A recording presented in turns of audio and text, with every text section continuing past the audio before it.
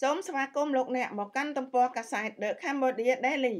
លទ្ធផលនៃការសិក្សាស្រាវជ្រាវបង្ហាញថាចំនួនសត្វផ្សោតនៅតាមដងទន្លេមេគង្គមានការកើនឡើងចំនួន80ទៅ92ក្បាលក្នុងរយៈពេល2ឆ្នាំចុងក្រោយនេះ ចំនួននេះគឺជាការកើនឡើងលើកដំបូងបង្អស់ក្នុងកំណត់ត្រាស្រាវជ្រាវអស់រយៈពេលជាង20ឆ្នាំមកហើយសេចក្តីប្រកាសព័ត៌មានរបស់អង្គការមូលនិធិសកលសម្រាប់អភិរក្សធនធានធម្មជាតិ WWF កម្ពុជា ដែលចេញផ្សាយកាលពីថ្ងៃទី23ខែមេសាម្សិលមិញឲ្យដឹងថា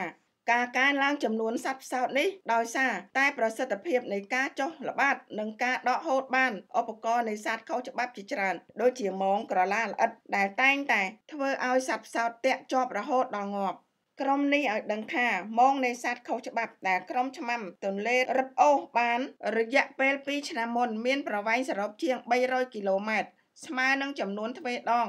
នៃប្រវែងជំរករបស់សត្វផ្សោតរស់នៅ